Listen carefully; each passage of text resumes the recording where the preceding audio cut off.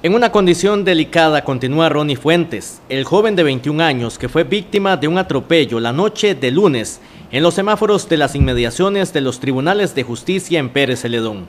Fuentes es vecino de Zabalito en Cotobruz, pero vive en San Isidro del General donde cursa una carrera universitaria. Joana Sandí es amiga de este muchacho que se encuentra en la unidad de cuidados intensivos del Hospital Escalante Pradilla de Pérez Celedón.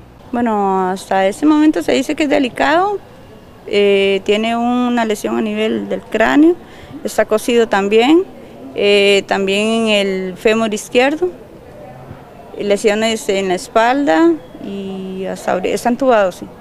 Ella cuenta que se trata de un joven de buenas costumbres, estudioso y alegre. Desde la zona de Cotobruz ya vino su madre para estar cerca de Ronnie en la batalla que libra. Una persona sumamente tranquila, responsable, eh, bastante relajada, ¿qué le puedo decir? De un chico totalmente dedicado al estudio, es universitario, una persona totalmente normal. Él es de la zona de... San Vito, Zabalito. ¿La familia del vino a...? Sí, la mamá. ¿Qué dice la mamá más o menos? Está tranquila, está... Mm, y tiene como toda mamá, ¿verdad? Un poquito de susto, pero, pero ella está bien.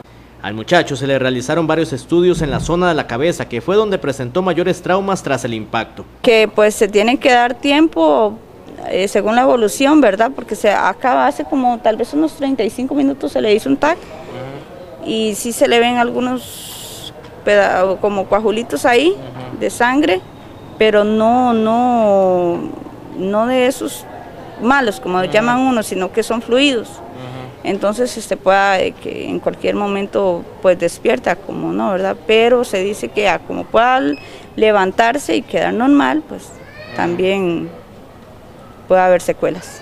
En cuanto al conductor del vehículo en primera instancia, habría dejado la escena del accidente, pero horas después se presentó ante el organismo de investigación judicial y fue identificado con el apellido Martínez.